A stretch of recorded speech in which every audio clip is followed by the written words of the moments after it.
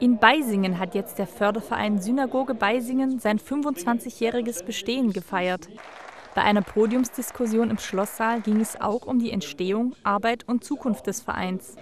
Die ehemalige Synagoge, 1938 von den NS-Machthabern zerstört, dient inzwischen als Gedenkstätte.